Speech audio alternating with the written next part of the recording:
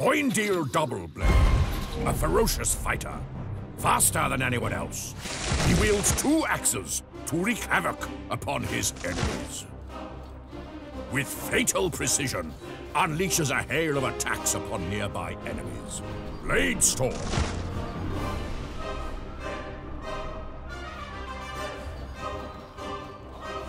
He uses his leap ability in the heat of battle, jumping upon his enemy and knocking them down or stunning them.